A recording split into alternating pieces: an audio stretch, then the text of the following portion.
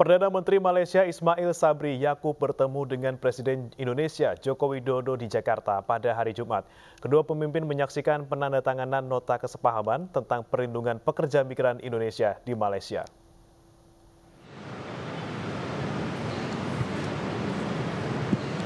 Untuk kedua kalinya, Perdana Menteri Malaysia Ismail Sabri Yaakob berkunjung ke Jakarta.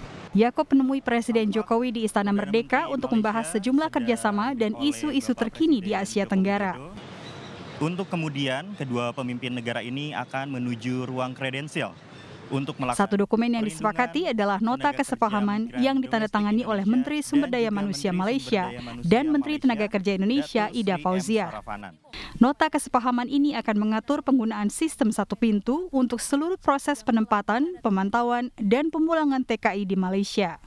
Pekerja migran Indonesia telah berkontribusi banyak bagi pembangunan ekonomi di Malaysia. Sudah sewajarnya mereka mendapatkan hak dan perlindungan yang maksimal dari dua negara kita. Malaysia merupakan salah satu negara tujuan utama para pekerja migran Indonesia. Pada 2019 tercatat lebih dari 79 ribu pekerja migran Indonesia bekerja di Malaysia. Jumlah tersebut menurun pada tahun 2020 dan 2021. Istana Merdeka Jakarta. Sebagai negara tetangga, Malaysia sentiasa menghargai dan mengalung-alungkan sumbangan pekerja migran Indonesia terhadap pembangunan ekonomi dan kehidupan rakyat Malaysia.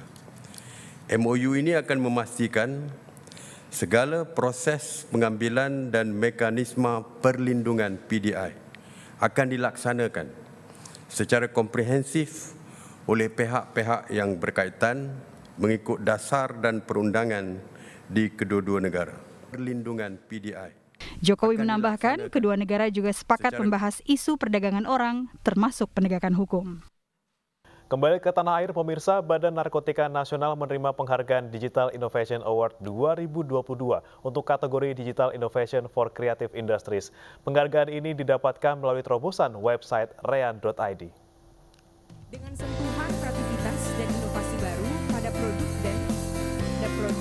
Badan Narkotika Nasional menciptakan website rin.id untuk mengajak generasi milenial dan generasi Z untuk tetap aktif dan kreatif dengan cara yang bersih dari pengaruh narkoba.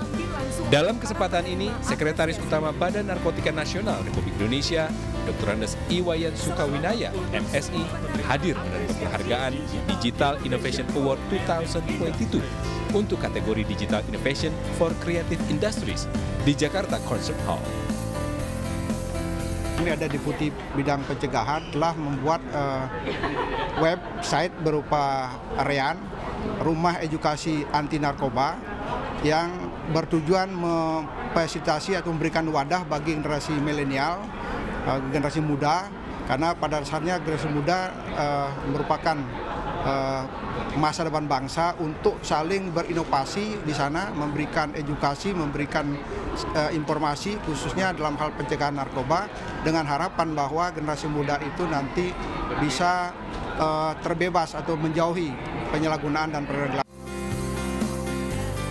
Digital Innovation Award 2022 merupakan ajang penghargaan tahunan yang memberikan apresiasi terhadap pihak-pihak yang sukses mengembangkan dan menciptakan inovasi berbasis digital.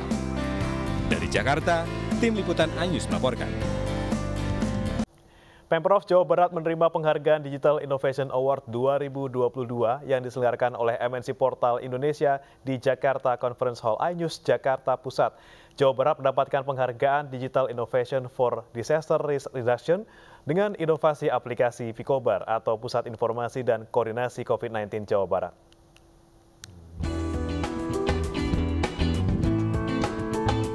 Penilaian penghargaan dilakukan oleh redaksi MNC Portal Indonesia dan Divisi Penelitian dan Pengembangan MNC Portal Indonesia melalui riset dari berbagai sekunder.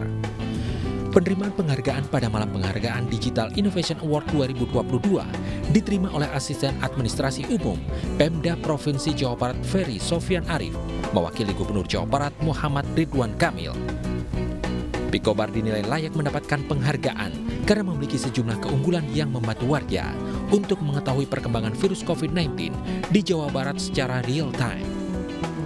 Pada aplikasi Pikobar ini masyarakat Jawa Barat khususnya bisa melihat di mana saja misalnya eh, rumah sakit yang menyediakan fasilitas untuk penanganan COVID. Kemudian yang kedua, bisa melihat juga infografis pada hari ini biasanya setiap jam 4 sore itu ada beberapa penderita. Kemudian bagaimana tingkat kesembuhan, bahkan yang meninggal dan sebagainya. Jadi dengan demikian dengan melihat infografis itu kita bisa mewaspadai sebetulnya sudah sampai sejauh mana COVID. Yang berikutnya adalah juga ada uh, telekomunikasi dengan dokter-dokter berkaitan dengan pertanyaan untuk penanganan COVID. Acara penganugerahan penghargaan Digital Innovation Award 2022 sebagai salah satu bentuk apresiasi MJ Portal Indonesia dan pihak-pihak yang sukses menciptakan dan mengembangkan inovasi berbasis digital. Dari Jakarta, Tim Liputan iNews melaporkan. Pemirsa sebagian Muslim Amerika Serikat memulai berpuasa pada tanggal 2 April, sementara sebagian lainnya masih menunggu penglihatan hilal. Dan berikut laporan dari tim VOA.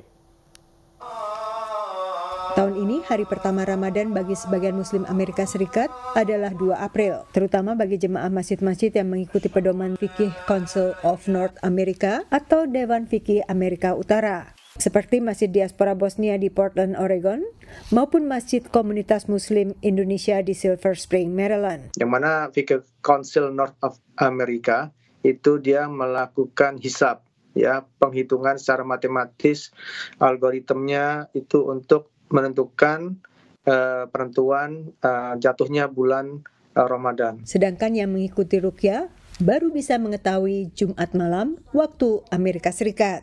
But it's something we go through every year. But we decided to do a North American sighting rather than a local sighting. In, in, in our association of Muslims who come under the leadership of Imam W. Muhammad, that's why we decided to do it. And sometimes it conflicts with uh, Muslims and other communities here because Some go back home. And I said, well, that's good, you can go back home. I mean, if I use your methodology, where do I go? I am home. Perbedaan ini disebabkan komunitas Muslim Amerika Serikat tidak memiliki lembaga nasional resmi pemerintah seperti di Indonesia, yang berwenang menentukan hari pertama Ramadan. Tapi seperti Indonesia, Amerika Serikat adalah negara luas dengan banyak zona waktu. Bahkan selain empat zona waktu di bagian kontinental, ada juga zona waktu Hawaii, Alaska, dan zona waktu wilayah dependensi Amerika Serikat seperti Samoa. Jemaah cenderung mengikuti penghitungan secara lokal, sementara minoritas muslim yang banyak di antaranya imigran dari berbagai negara umumnya menghormati adanya perbedaan awal puasa. Apa pun metode penetapannya bagi komunitas Muslim Amerika Serikat, yang penting adalah kesempatan beribadah semaksimal mungkin. Ramadan, of course, is the time to remind ourselves of our obligations to people, to our neighbors, to um, our fellow community members, and of course to God. Ini adalah Ramadan ketiga selama pandemi, tapi yang pertama tanpa protokol kesehatan seketat tahun-tahun sebelumnya. Nah, uh, insya Allah uh, dua, tahun ini kita merencanakan mengadakan buka puasa seperti sebelum pandemi. Jarak di masjid juga kita sudah kita sudah hapuskan, namun kita masih tetap mengharapkan uh, jamaah itu memakai masker, membawa sajadah sendiri. Untuk waktu Amerika bagian timur yang mencakup Washington DC dan sekitarnya, Subuh memasuki Ramadan jatuh pada sekitar 5.40 pagi dan maghrib jatuh pada sekitar setengah 8 malam. Dari Alexandria, Virginia, Yuni Salim dan tim VOA.